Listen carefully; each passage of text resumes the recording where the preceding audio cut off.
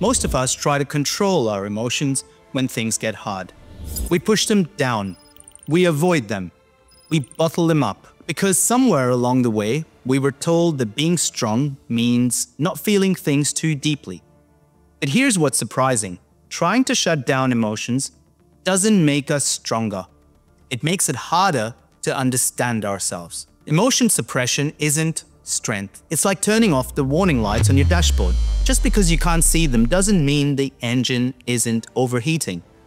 So, what should we be doing instead?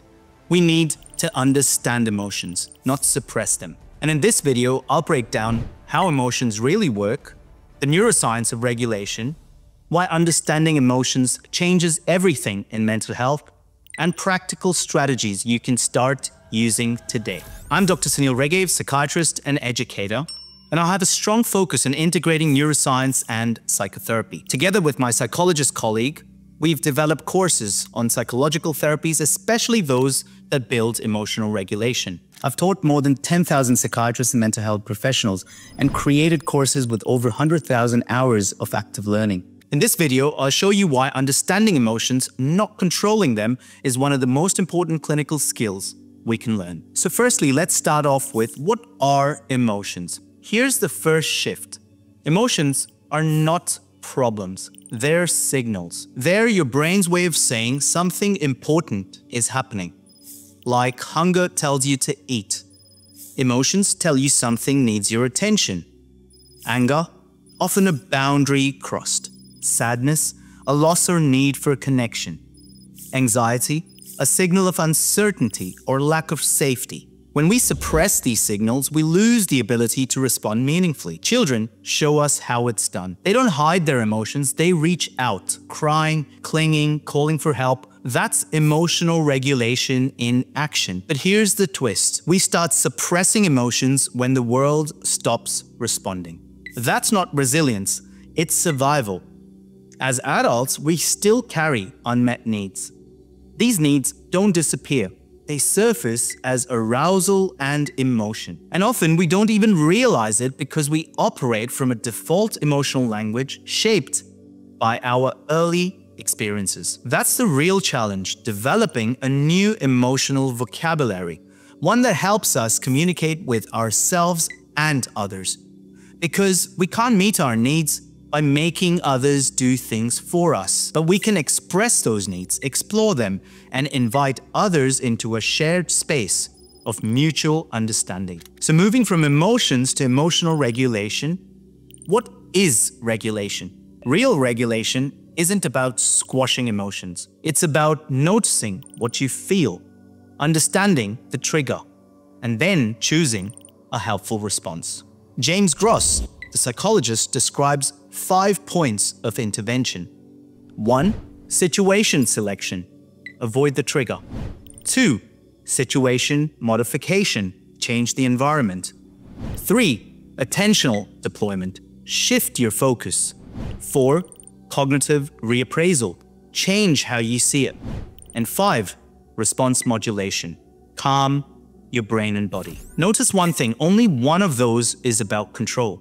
The rest they're about understanding and creating options. So what's happening in the brain? Emotional signals arise from subcortical areas, amygdala, hypothalamus, insula. They're fast, automatic, and primal. Regulation happens in the prefrontal cortex, top-down modulation. You feel the emotion, then your brain decides what to do with it. Here's an analogy. Think of it like a rider, the prefrontal cortex trying to guide the horse, which is the emotional circuits.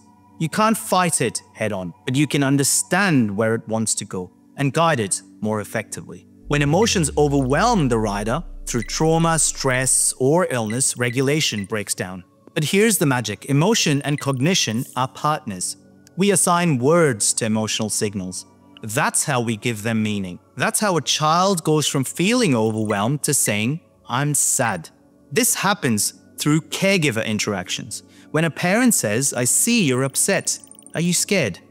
That naming process wires the brain for emotional insight.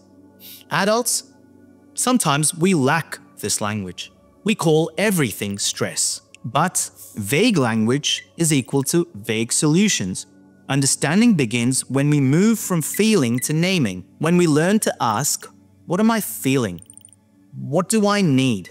What am I trying to express? It's here that we begin to shift from reaction to response. So let's bring this to psychiatry. Whether it's depression, anxiety, PTSD, or borderline personality disorder, emotional dysregulation is at the core. But here's the paradox we treat cognition, we treat behavior. But often, we ignore the emotion. We try to improve cognition and behavior. But there's no such thing as improving emotions. Emotions are not symptoms to remove, they're signals waiting to be understood. Trauma that's not just fear, it's an unmet need for safety. Depression, often a collapsed state where signals were sent and ignored for too long. So, treatment should be about giving space for those emotions to be seen and then integrated. So, how do we regulate better? And what actually works? First, psychotherapy. Cognitive behavioral therapy helps with reappraisal.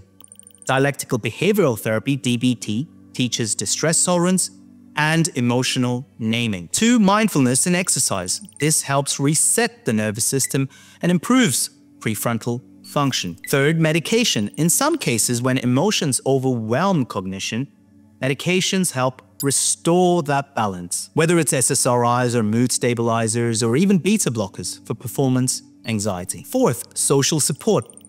Interpersonal emotional regulation is real. A friend, for example, who listens actually can change your nervous system. And sixth, the awareness of our affect systems. These were described by Panksepp.